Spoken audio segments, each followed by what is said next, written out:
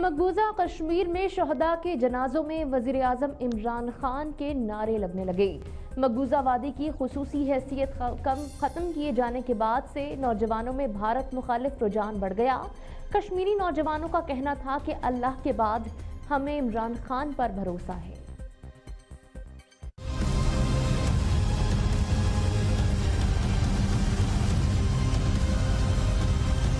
مقبوضہ کشمیر میں قابض بھارتی فوج کی طرف سے نوجوانوں پر مسلسل مظالم ڈھائے جا رہے ہیں۔ مقبوضہ وادی کی خصوصی حیثیت ختم کیے جانے کے بعد سے نوجوانوں میں بھارت مخالف رجحان بڑھتا ہوا نظر آ رہا ہے اور شہید ہونے والے برہان وانی کے نقش قدم پر چلنے کو ترجیح دینے لگے ہیں۔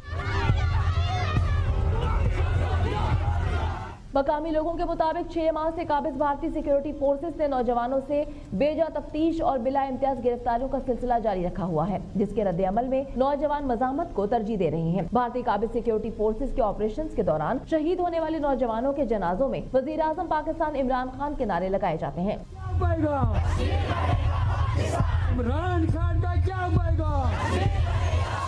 ایسے ہی نعرے اور پاکستانی جھنڈے میں لپٹی میت کے مناظر جنوبی کشمیر کے ضلع کولگام میں دیکھنے کو آئے جب شہید کشمیری نوجوان شاہد احمد کی نماز جنازہ ادا کی گئی۔ وہ بیس روز قبل گھر سے گئے اور قابض بھارتی فورسز نے انت ناگ ضلع میں نام نہاد جھڑپ کے دوران نوجوان کو شہید کر دیا تھا۔ برف باری کے باوجود سینکڑوں مردوں اور خواتین نے ان کے جنازے میں شرکت کی۔